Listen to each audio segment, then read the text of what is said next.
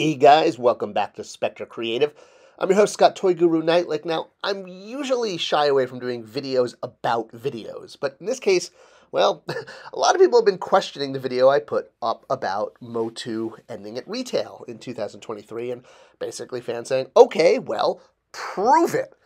Now, the thing is, this isn't the first time I've done a video about a toy line ending. In fact, I do lots of videos about toy lines ending, and believe me, it's equal just as much over Hasbro, Mattel, Spin Master. I'm an all-toy fan, and the reason I report on toy lines ending is because it's, well, it's part of the collector hobby. But for some reason, talking about Masters of the Universe ending, unlike, you know, any of the many, many other videos I've done on other brands ending, this one seems to have striked a chord. Struck a chord? Struck a chord. Not strike a chord. Struck a chord. I can speak English. So what is it? Why is this video, you know, so much different from all other videos? Is it because I require you to eat matzah while watching it? Heck no. There's a lot going on here, and I kind of want to unpack this because, well, it's important to the hobby. And really what it comes down to is the CGI effect. I'm sorry, not the CGI effect, the CSI effect. There we go, that's the right one. What is the CSI effect and what the world does it have to do with toys? Well, this is an actual thing. There's a lot of CSI shows out there, right? Every major city gets one. I think they even have a CSI for holidays. I can't wait for CSI Arbor Day to come out where they investigate the trees. Well, the CSI effect is the idea that within one hour, the, the police on the show and everyone can just wrap everything up neatly. Even though there may be overwhelming evidence, it's the idea that people won't believe it anymore unless there's, you know, DNA or, or, a, or a photo of the person committing the crime. This is this is what the CSI effect is, and it's actually a major problem, especially with the jury system, because it's gotten people to the point that they don't believe something, even when it's right in front of you. Because, well, on CSI, you know, they have a crime scene and they have DNA, and they, they always, you know, they, or they have a video of the person doing it, and that's not the way the world works. You have to actually think and process things and come to your own conclusion. And what I kind of see happening is the fact that I've worked on Masters of the Universe. I love the brand very much so, to the point that I rearranged my entire life to to work on the brand, and you know did the job on top of my other job. Well, besides that fact of my personal involvement, there's kind of what's actually happening in the toy aisle. I mean, the He Man Masters of the Universe brand has gone on sale and clearance more than pretty much any other brand in the last two years. And I know because I this is my job. This is what I do. I'm a toy consultant. We've also seen things like Masters of the Universe figures shipping to the Mattel toy store when they couldn't find any other home for it because retailers wouldn't take it.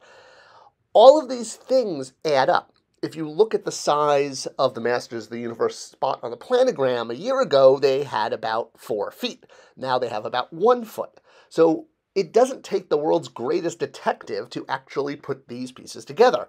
When I make videos talking about these kind of things, people expecting a smoking gun or, you know, the knife sticking out of the corpse, if you will, that's not the way the real world works. That's the CSI effect when there's, you know, a clear, specific, dedicated answer. In the real world, we actually have to think about things and process things and, and use the evidence that we see in front of us. Basically, you know, look, use your eyes. Do you see a toy line going on clearance way more than any other? What does your brain think about all this?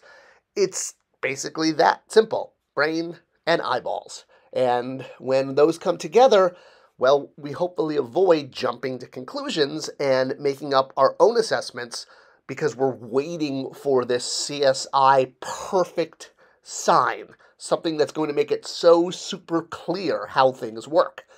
And those kind of signs don't always work.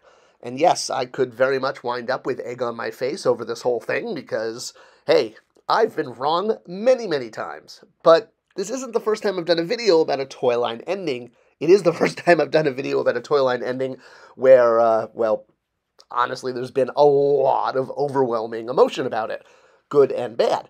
But sometimes, you know, like this Ghostbuster video, I said the line went away and no one even noticed or talked about it. I mean, obviously, some Ghostbuster fans did.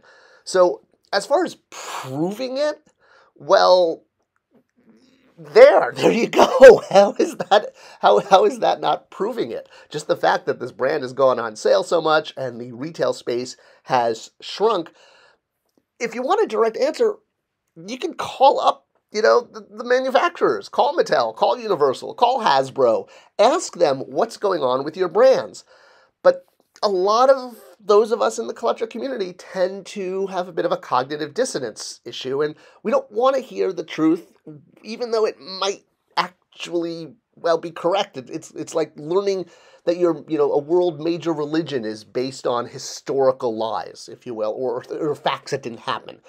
So, you know, but you're so deep into that religion or that belief system that you just don't want to hear it at all, even if someone comes to you with, you know, CSI esque evidence. And it's not like Masters of the Universe is over. We still have Eternia coming from Mattel Creations. In fact, Mattel Creations has already been tested as a way of distributing product directly to collectors, which is where Masters of the Universe does best when it's a collector only brand because it's adults that grew up with it. So, yeah, there are figures coming out online. The best thing we can all do, and I've said this so many times, is get Masters of the Universe toys into the hands of kids. If you want the line to be at retail and to be huge again, that's the key. If you want a collector line sold online with lots of characters, that's awesome too. But it's not really compatible with the needs of retail.